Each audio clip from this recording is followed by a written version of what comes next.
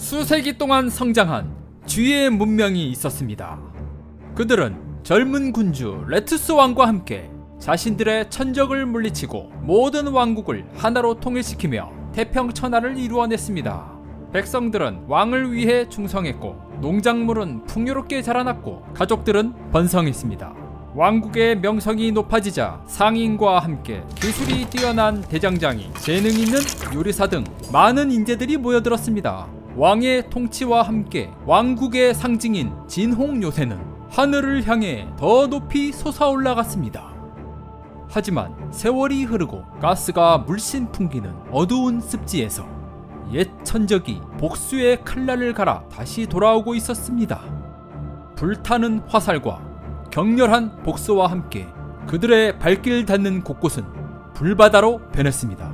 그러나 레투스 왕은 이제 늙었습니다. 간신히 왕관을 붙잡을 수 있었던 그에게는 더 이상 칼을 쥐고 적을 향해 진격할 힘이 남아있지 않았습니다. 결국 그는 왕국을 위해서 왕위를 물려주기로 결정을 내립니다. 바로 왕자 레지에게 말이죠. 하지만 레지는 아직 어렸습니다.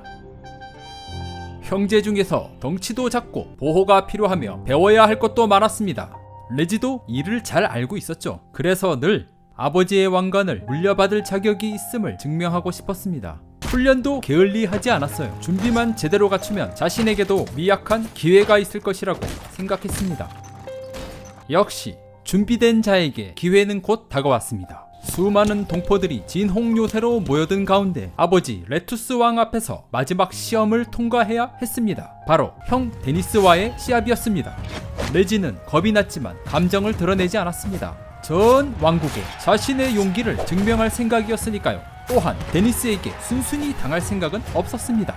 그의 의지가 빛을 발휘했습니다. 결투 끝에 레지는 형을 이기고 마지막 시험을 통과했습니다. 레지는 자신이 왕위를 물려받을 수 있음을 증명한 것입니다.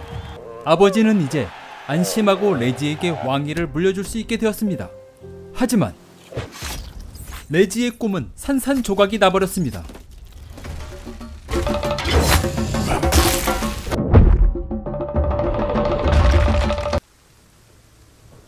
왕자가 다시 눈을 떴을 때 주변은 온통 피와 개구리 알로 뒤덮여 있었습니다. 자신의 왕관도 왕국도 아버지도 곁에 없었습니다. 들판은 불타고 왕은 몰락했으며 꿈도 부서졌습니다. 레지는 염원하던 왕관을 얻었지만 왕국을 물려받지는 못했습니다. 부채만 가득한 왕관이 무겁기만 합니다. 이제 이 어린 왕자는 왕국을 위해 영웅이 되어야 합니다. 과연 예전의 영광으로 되돌릴 수 있을지 수심이 깊어갑니다. 맏형 데니스가 돌아왔지만 얼굴에는 굴욕이 가득했습니다. 마을에서 몰려오는 개구리 군단을 막지 못하고 동생인 요리사가 놈들에게 끌려갔기 때문입니다. 레지는 서둘러야 했습니다. 둘째 형인 요리사를 구하기 위해 긴꼬리 마을로 향합니다. 간신히 도착한 긴꼬리 마을은 폐허가 되어 있었습니다. 레지는 요리사의 행방을 찾기 위해 마을의 장로를 만나보기로 했습니다. 성문 쪽에 쓰러져 있는 경비대장을 만났습니다. 경비대장은 개구리 군단으로부터 마을 회관과 장로를 지키기 위해 사력을 다했지만 이미 회관에 침투한 것 같습니다. 상황이 좋지 않아 보여 경비대장으로부터 마을 회관 열쇠를 받아 장로를 구하러 갔습니다. 경비대장 말대로 개구리 군단은 안쪽까지 쳐들어와 있었습니다. 그간 열심히 훈련한 덕분인지 적들을 가볍게 제압하고 올라가 보니 마을 장로와 그의 경호원 로빈이 무사히 있었습니다. 장로에게서 요리사의 행방을 알 수 있었습니다. 그는 개구리들이 방앗간으로 끌고 간 것입니다. 레지가 요리사를 찾으러 성문으로 다가갔을 때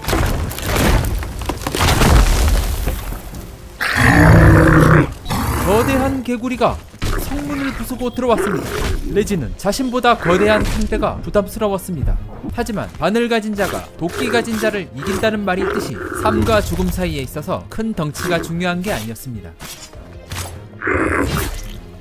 This thug of a guard frog wasn't an easy kill, but it was a sweet one. 레지는 다시 길을 재촉했습니다. 얼마 가지 않아서 요리사의 모자를 발견했어요. 분명 가까운 곳에 있을 거라 생각했습니다. 길목을 가로막는 적들을 하나하나 물리치고 낡은 방앗간에 들어가 보니 그곳에 둘째 형인 요리사가 기둥에 묶여 있었습니다. 단단한 쇠사슬을 풀려면 열쇠가 필요한데 그 열쇠는 적들이 가지고 있어요.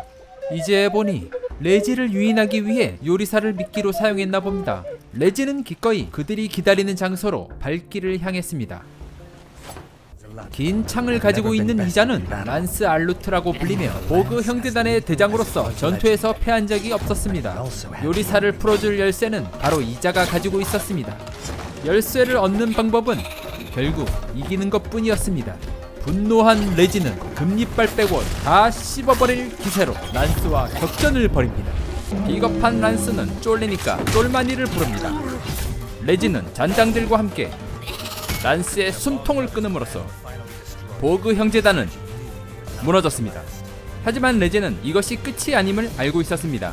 이제 형제를 무사히 구하고 집으로 보냈습니다. 그리고 유충이 창궐한 마을과 진홍요새 주변을 정리하고 돌아와 보니 이번엔 또 대장장이의 행방이 묘연하다고 하네요. 레지는 요리사를 찾은 기쁨도 잠시하고 또다시 실종자를 찾으러 장로에게 찾아갑니다. 안타깝게도 장로는 대장장이가 어디로 끌려갔는지 모릅니다. 하지만 순찰대 로빈을 찾아가면 정보를 얻을 수 있을 거라고 합니다. 다시 순찰대 오두막으로 로빈을 찾아 떠납니다. 드디어 로빈을 찾았습니다. 지금 오두막에 개구리 군단이 침략했으니 하수구를 통해 몰래 잠입하라고 말해줍니다. 레지는 더러운 하수구로 향합니다. 어째 이곳이 고향 같기도 합니다. 과거에는 여기가 쥐들의 터전이었으니까요. 오래전 선왕들이 이곳에서 쥐들을 지상으로 이끌기 전까지는 말이죠. 하수구를 통해 순찰대 오두막을 찾았는데 적들이 침투해 있었습니다. 레지는 로빈을 도와 개구리들을 퇴치했습니다. 그리고 로빈으로부터 대장장이의 행방을 알 수 있었습니다. 대장장이는 습지 학살자 부족이 탑으로 끌고 갔고 탑으로 가는 길목은 장애물로 막혀 있다고 합니다. 로빈은 레지에게 장애물 제거를 하기 위한 도끼를 주었고 사용법을 알려주었습니다. 레지는 이 도끼로 개구리 대가리를 쪼갤 생각에 짜릿한 쾌감을 느꼈습니다. 대장장이를 찾으러 가는 길에서 그의 망치를 발견했습니다. 탑이 바로 이 근처에 있는 것 같습니다. 로빈과 함께 탑을 지키고 있는 블록카의 숨통을 끊고 탑으로 들어가 보니 그곳에 대장장이가 쇠사슬에 묶여 있었습니다. 그를 풀어줄 열쇠는 습지 학살자 부족의 우두머리 블록키 마구가 지니고 있었습니다. 열쇠를 얻는 방법은 이기는 것 뿐이었습니다.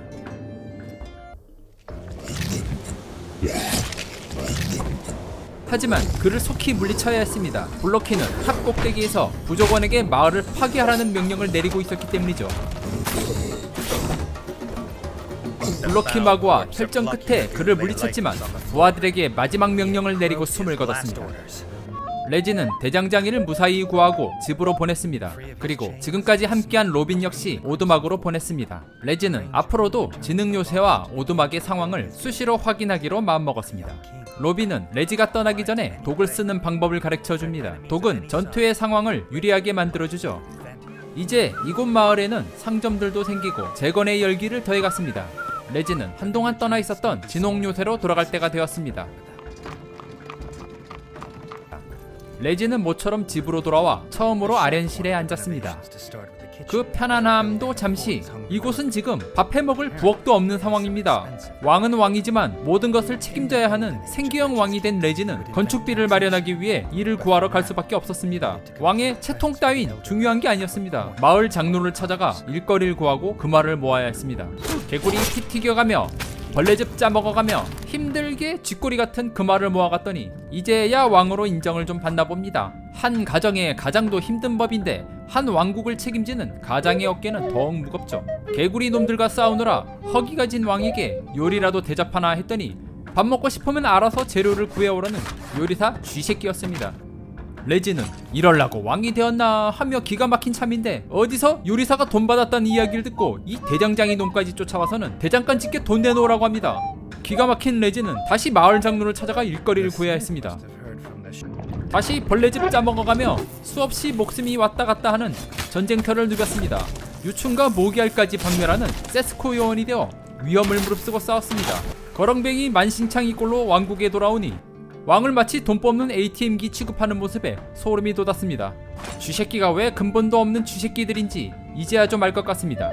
대장간 지어주면 집행검은 아니지만 카타칼이라도 하나 주나 기대했더니 알아서 설계도를 가져오면 장비를 만들어준다는 대장간 쥐새끼였습니다.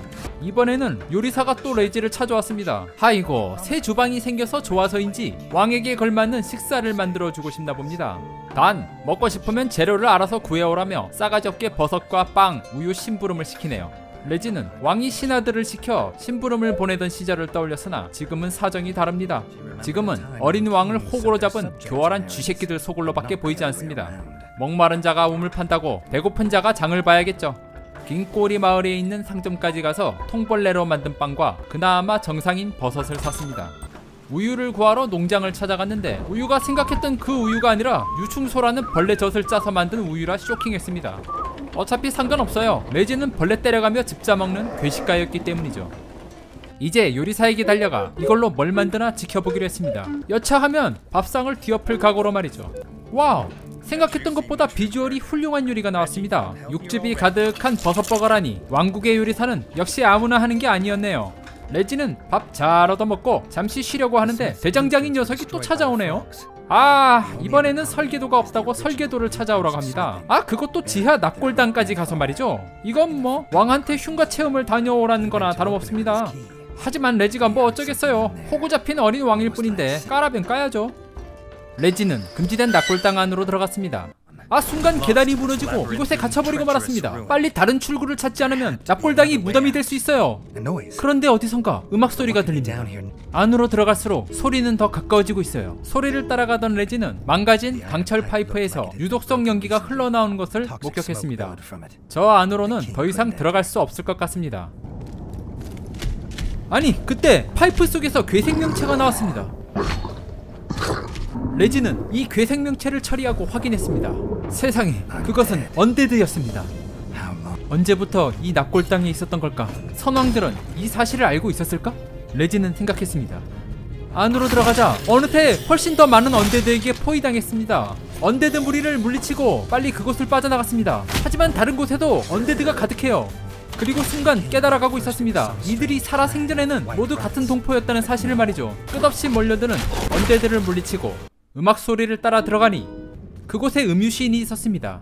그는 개구리가 습격해 왔을 때 납골당 안으로 숨었던 겁니다. 하지만 이곳은 안전한 곳이 아니었죠. 음유 시인은 여기서 오래된 도서관을 찾았고 설계도로 가득한 책을 보았으며 밖으로 나가는 출구도 알고 있었습니다. 그의 안내로 설계도를 찾을 수 있었습니다. 드디어 책을 가지고 나가려는 순간 거대한 개구리족 언데드가 나타났습니다. 레지는 어둠의 망령을 물리치고 무적행으로 보내버렸습니다.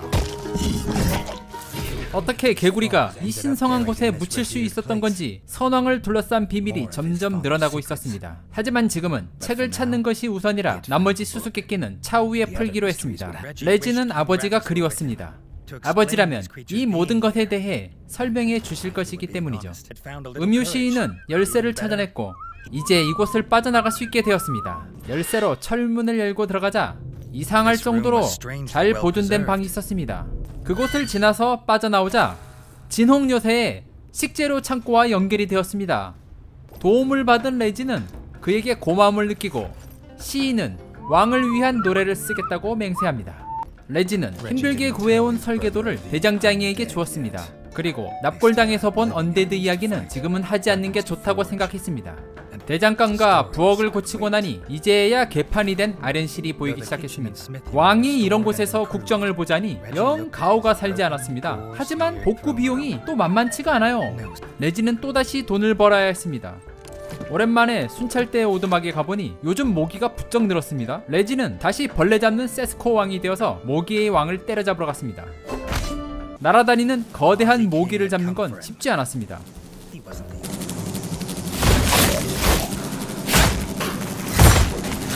악종 고투 끝에 모기의 왕을 처치했으니 당분간 이곳은 안전할 것 같습니다.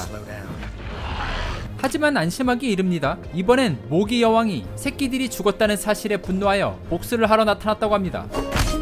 아주 이번 참에 이 모기 새끼들을 씨를 말릴 좋은 기회라고 생각하고 갔습니다. 사악한 모기의 여왕인 모기 여왕을 만났습니다. 여왕이 살아있는 한 모기는 절대 멈추지 않을 것입니다. 모기 왕보다 훨씬 강력한 모기 여왕. 그러나 여왕도 죽었으니 모기 문제는 이것으로 일단락된 것 같습니다. 레지는 그간 벌레잡이로 모은 돈을 자신의 아련실에 투자했습니다. 가성비를 맞추다 보니 아버지 때만큼은 아니지만 자신만의 훌륭한 아련실이 만들어졌습니다. 레지는 이제야 두 다리 뻗고 휴식을 좀 취하는구나 했는데 아직도 주변에 위협이 많이 남았다고 하네요. 개구리 녀석들이 이제는 땅 아래에까지 나타나서 광부들이 일을 못할 지경이라고 합니다. 심지어 광산의 깊숙한 곳에서 이상한 괴물의 울음소리도 들린다고 하네요. 레지는 결국 죽어서야 쉼을 얻을 수 있나 봅니다. 또다시 개구리를 때려잡으러 광산으로 향했습니다. 광산 입구에서 만난 데니스는 대전사가 개구리 군단을 이끌고 광산에 나타났다는 소식을 전합니다. 광부도 개구리의 습격을 목격했다고 말합니다. 데니스와 레지는 한 팀이 되어 광산을 침략한 개구리 군단을 무찌르며 깊숙이 더 안쪽으로 대전사를 찾으러 갔습니다. 광산의 깊숙한 곳에서 개구리 군단의 본체를 찾을 수 있었습니다. 저 멀리 아버지의 원수 대전사를 볼 수 있었습니다. 데니스와 레지 형제는 개구리 군단에 맞서 대결을 펼쳤습니다. 개구리는 모두 처리했고 괴물의 울부짖는 소리도 더 이상 들리지 않습니다. 그러나 대전사는 이미 사라졌고 언제든 또다시 쳐들어올 것을 대비할 필요가 있었습니다. 어서 빨리 요새로 가봐야 할 것 같습니다. 데니스와 함께 요새로 돌아가던 중 레지는 다리 아래로 떨어지게 됩니다. 아니 덩치 큰 형도 건너간 다리가 왜 자기 때문에 끊어졌는지 미스테리였습니다. 하필 요새로 돌아가야 할 중요한 시점에 이곳에 고립돼 버리고 말았습니다. 어서 빨리 출구를 찾아야 했습니다. 광산 깊은 곳으로 나아갈수록 눈앞에 한때 쥐들이 존재했던 세월의 흔적이 드러났습니다. 쥐들의 굴 파는 능력은 참 대단하다고 생각했습니다. 그런데 혹시 쥐보다 굴을 더 잘 파는 생명체가 있을지 궁금하기도 했습니다. 안으로 들어갈수록 점점 새로운 세상이 있었습니다. 신기하게도 이것은 쥐들의 기술력이 아니었습니다. 레지는 이상한 금속 물체를 발견했는데 아무래도 어떤 장치에서 빠진 부품 같았습니다. 어쩌면 문을 여는 열쇠일지도 몰랐습니다. 레지가 장치 안에 금속 물체를 넣자 기이한 형태의 금속 문이 자동으로 열렸습니다. 점점 새로운 세계로 들어가기 시작했습니다. 땅은 차갑고 단단했으며 생명체는 보이지 않았습니다. 그때 작은 생명체가 나타나 레지를 보며 기뻐합니다. 동지라고 소리치면서 말이죠. 무기로 잔뜩 무장은 했지만 쥐는 아니었습니다. 어쩌면 집으로 갈 수 있을지도 몰라 레지는 자신을 왕이라고 소개했습니다. 그러자 그 생명체가 말하길 자신은 두더지고 위대한 볼셰비키 공화국의 전기 기술자라고 합니다. 레지가 알 수 없는 단어들이 가득했습니다. 그래도 일단 그를 따라가기로 합니다. 두더지는 레지에게 전차라는 신기한 도구로 집에 데려다 주기로 합니다. 그러나 전기가 필요했죠. 레지는 두더지를 도와 함께 전기를 찾아야 했습니다. 유충들이 가득한 곳을 지나 안으로 들어가자 유충의 어미가 자리를 잡고 있었습니다. 이 괴물을 쓰러뜨리고 이 방 너머에 있는 전기 공급 스위치를 찾아야 했습니다. 벌레 때려잡아서 왕국도 재건한 레지는 벌레 잡는 데 일가견이 있었습니다. 두더지를 도와 유충 어미를 때려잡고 안쪽에 전기 스위치를 작동시키자 전기는 다시 공급되기 시작했고 두더지와 레지는 전차로 향했습니다. 레지는 광선에서 들린다는 괴물 울음소리의 정체가 바로 전차라는 것을 알게 되었습니다. 레지는 두더지와 함께 전차를 타고 그의 마을 몰셰비키 공화국에 도착했습니다. 이 장소는 24-7 구역이라 불리는데 전기가 흐르며 파이프에서는 독가스를 배출하고 있었습니다. 처음 들어보는 신기한 음악에 꼬리가 절로 실룩거렸습니다. 시골지 마냥 촌티 내고 싶지 않은 레지는 애써 태어난 척을 했습니다. 두더지는 차를 타면 집으로 바로 갈 수 있다고 하며 안내합니다. 이 물건은 두더지 차라고 하는데 진홍 요새까지 충분히 갈 수 있다고 하네요. 다만 휘발유라는 것이 필요한데 24-7 구역에 가서 얻어오라고 합니다. 레지는 속으로 그러면 그렇지 공짜는 없구나 하고 생각했습니다. 두더지 새끼들도 쥐 새끼들과 별반 다를 게 없다고 생각했습니다. 레지는 왕체면에 이제 두더지의 호구 노릇까지 하게 되었습니다. 휘발유를 구하러 가는 입구를 경비 두더지가 막고 있는데 처음 보는 레이지에게 생일 선물로 쓸 치즈케이크를 가져오라고 하네요. 하다 하다 이제는 별 듣보잡 놈의 빵 셔틀까지 하게 생겼습니다. 레지는 상점으로 향했어요. 그동안 모아둔 쥐꼬리만한 돈도 없어서 케이크 하나 살 돈이 없었습니다. 레지는 이곳에서 돈을 벌어야 했어요. 그래서 레지는 돈을 벌러 격투장에 참가했어요. 이기면 상금을 준다고 하니까요. 실전 경험이 가득한 레지는 격투에 참가해서 약골들을 하나씩 때려잡았습니다. 이런 녀석들을 상대한다면 금방 큰 돈을 모을지도 모른다고 생각하기도 했습니다. 상점에서 치즈케이크를 사들고 경비 두더지에게 가보기로 합니다. 경비 두더지가 치즈케이크 환장해서 자리를 비운 사이 휘발유를 구하러 길을 나섰습니다. 이곳은 오래전에 사용이 중지된 폐허였습니다. 유충들이 가득한 구역을 지나 휘발유 있는 곳을 가리키는 이정표를 찾았습니다. 그곳에는 연료 펌프가 있었지만 전혀 움직이지 않아서 이걸 움직일 수 있는 방법을 찾아야 했죠. 더 안쪽 깊숙이 들어가자 그곳에는 레버가 있었습니다. 레지는 레버를 내리고 전기장치의 레버도 내렸습니다. 이제 연료 펌프를 찾아가려는데 정체 모를 생명체가 나타나 레지를 공격합니다. 날카로운 이빨과 발톱, 빠른 움직임을 보자 공포감이 밀려옵니다. 천신만고 끝에 녀석을 이겼습니다. 두 번 다시는 이 녀석과 만나지 않기를 빌었습니다. 이제 펌프가 움직이고 연료를 구했습니다. 충분한 연료를 가지고 두더지를 만나러 갑니다. 이 뻔뻔한 두더지 새끼는 처음부터 휘발유 구하기가 어렵다는 것을 알고 있었을까요? 묻고 싶은 것이 참 많았지만 일단 집으로 갈 수 있기에 그냥 넘어가기로 했습니다. 진홍 요새로 돌아온 레지는 뭔가 잘못 돌아가고 있다는 것을 알았습니다. 성문이 굳게 닫혀 있고 모든 문에 경비병이 배치되어 있습니다. 왕이 오랫동안 자리를 비운 사이 무슨 일이 생긴 걸까요? 알현실로 들어가 보니 내용을 알 수 있었습니다. 역시 우려했던 대로 적이 돌아온 것입니다. 왕이 없는 틈을 타서 납골당 내부에 파이프를 타고 침투한 것이죠. 데니스가 그곳이 어딘지 방향을 알려주었습니다. 그리고 망가진 파이프 있는 곳에서 만나 개구리를 몰아내기로 약속했죠. 두더지도 레지를 돕기로 합니다. 이곳이 무너지면 두더지 촌도 같은 운명을 맞기 때문이죠. 그런데 그때 개구리 군단의 초파초비 성문을 부수고 등장합니다. 레지가 알아서 처리하려고 했는데 경비대장이 어설프게 나서다가 명을 재촉하고 말았습니다. 평생을 왕국을 위해 희생했는데 마지막이 너무 허무하네. 임무를 다한 그는 왕 곁에 묻힐 자격을 얻었습니다. 두더지와 함께 초파초를 물리치고 성문 밖으로 나가자 개구리 군단으로 초토화되어 있었습니다. 급한 대로 잔당들을 제거하고 다시 납골당으로 향했습니다. 레지는 놀랐습니다. 자신이 없는 사이 백성들이 납골당의 수리를 마쳤기 때문이죠. 더욱 놀라운 사실은 자신에게 돈을 요구하지 않고 알아서들 했다는 거죠. 납골당 내부에 퍼진 개구리 군단들을 하나하나 물리치고 데니스와의 약속 장소에 도착했습니다. 그때 사악한 개구리 무리가 나타나 데니스를 파이프 안으로 납치해 갔습니다. 이곳은 독성가스가 강해서 더는 갈 수가 없었습니다. 두더지는 한 가지 방법을 알려줍니다. 24-7역에 있는 상점에 가면 방독면을 판다고 합니다. 두더지는 레지가 다녀올 동안 이곳에서 목숨을 걸고 장판파 전투를 하기로 하였습니다. 레지는 두더지의 용기에 감탄했습니다. 그동안 뻔뻔한 두더지 새끼라고 생각했던 걸 반성하고 전쟁이 끝나면 두더지들과 더욱 친하게 지내야겠다고 다짐했습니다. 레지는 24-7역 상점에 가서 방독면을 찾았습니다. 그런데 생각보다 가격이 너무 비싸요. 어째 이번에도 두더지한테 속은 기분이 들었 지만 구덩이 결투장에서 약골들을 상대해서 돈 좀 벌면 문제는 아니었습니다. 마지막 상대는 결투장의 챔피언 헐크 모건이었습니다. 그는 두더지 촌에 살아있는 전설 그 자체였습니다. 레지는 오늘 그 전설을 깨기로 했습니다. 헐크모건은 지금까지 상대했던 자들과는 달랐습니다. 레지는 수없이 위기를 넘기고 천신만고 끝에 그를 이겼으며 관중들은 새 챔피언에게 열광했습니다. 상점에서 방독면을 구한 레지는 서둘러 진홍요새로 향했습니다.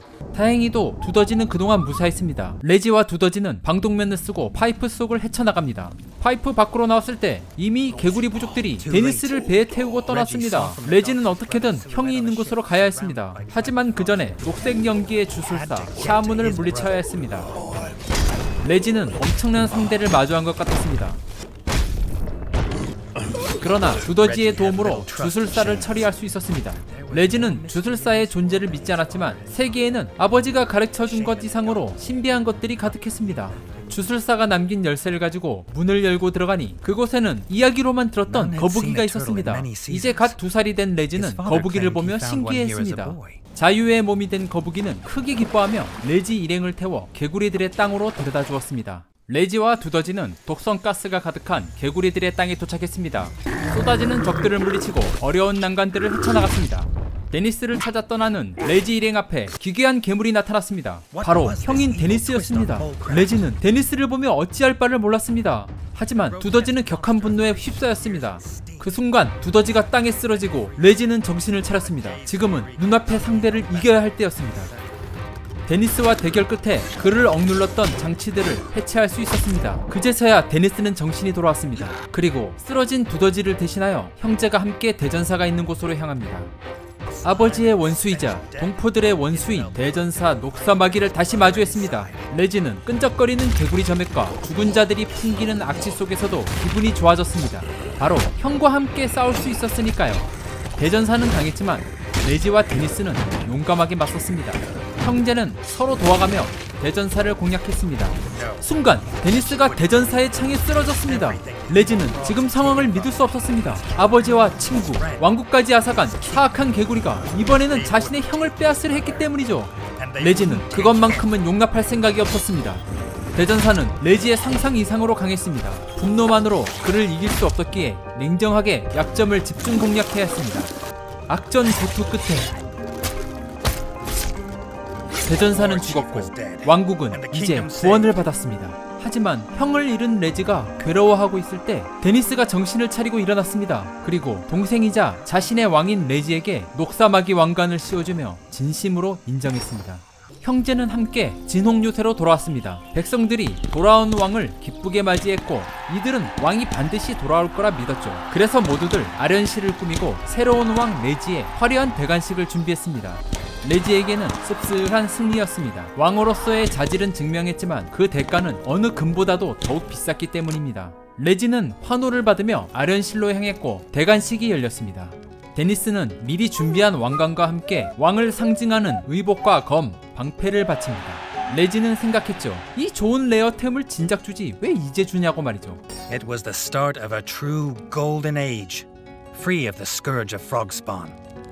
Working with the molefolk below, they built a new kingdom of steam and industry and wonder. But that is, as they say, a tale for another time.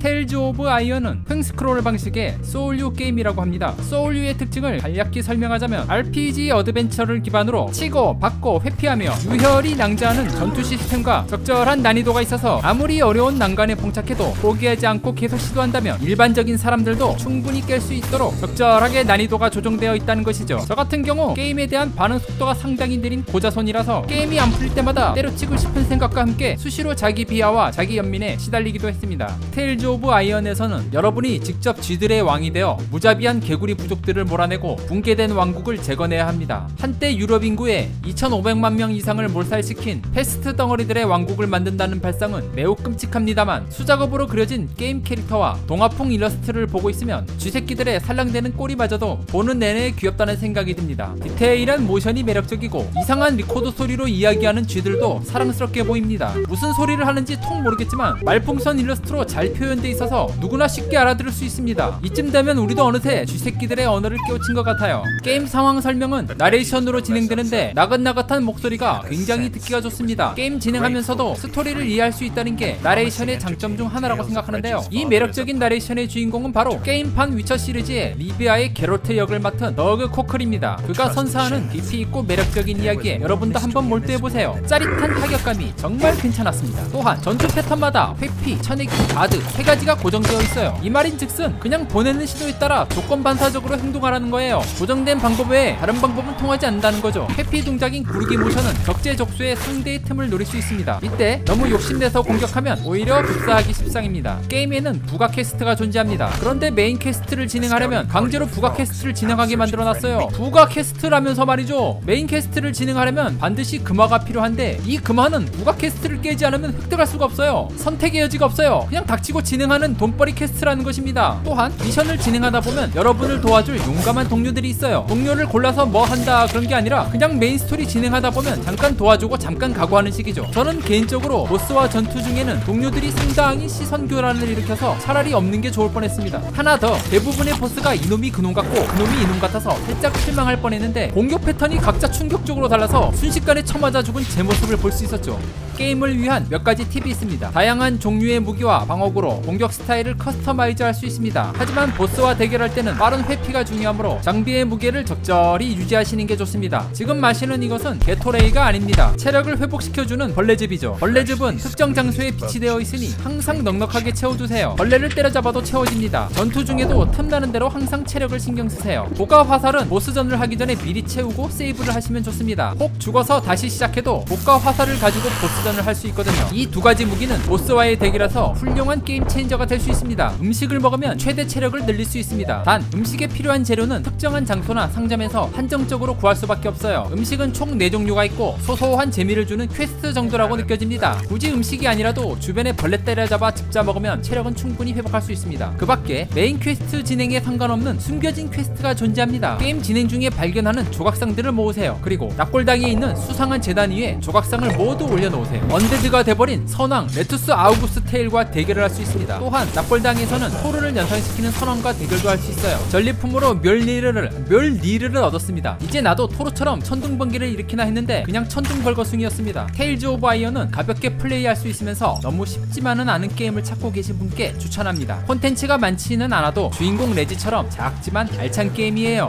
오늘 게임 스토리 리뷰는 여기까지였고요.